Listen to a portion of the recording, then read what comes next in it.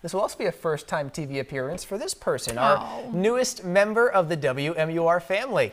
Best part of the night, Monica Hernandez and her husband Chris have welcomed Adeline Elise on Sunday, August 21st, just after midnight, weighing in at 8 pounds and 8 ounces. They are all doing great, and we appreciate all of the well wishes that have been pouring in for them over the last nine months or so. Monica's going to take a nice break with her family, and we are so happy for all of them. Everybody's healthy, Congratulations. doing great. Congrats.